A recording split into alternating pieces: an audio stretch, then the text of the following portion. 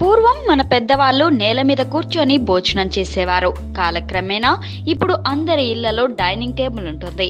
ఇప్పుడు భోజనం చేయాలి అంటే డైనింగ్ టేబుల్ అలవాటు పడ్డారు. పూర్వం ఏదైనా వేడుకల్లో కూడా అందరూ కింద కూర్చుంటే అరిటాకులు వేసి వాళ్ళకి వడ్డించేవారు. కానీ ఇప్పుడు బఫే సిస్టమ్ వచ్చింది.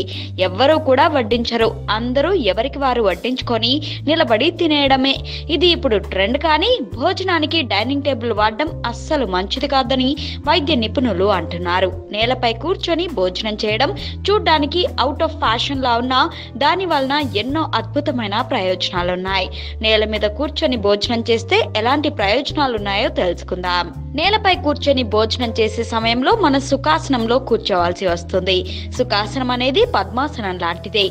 పద్మాసనం కారణంగా శరీరానికి ఏ ప్రయోజనాలు చేకూరుతాయో సుఖాసనంలో కూడా అవే ప్రయోజనాలుంటాయి. కూర్చొని తినడం వలన ఆహారాన్ని చక్కగా స్వీకరించగలుగుతాం. ఆ ఆసనం ఏకాగ్రతను కూడా ప్రసాదిస్తుంది. అంతేకాకుండా రక్త ప్రసరణ దేహమంతటా సమాన రీతిలో ఉండేలా చూస్తుంది. తద్వారా శరీరానికి అదనపు శక్తి లభిస్తుంది.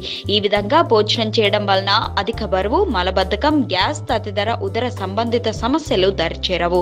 ఈ ఆసనంలో కూర్చోడం వలన నడు నొప్పి నుంచి విముక్తి లభిస్తుంది.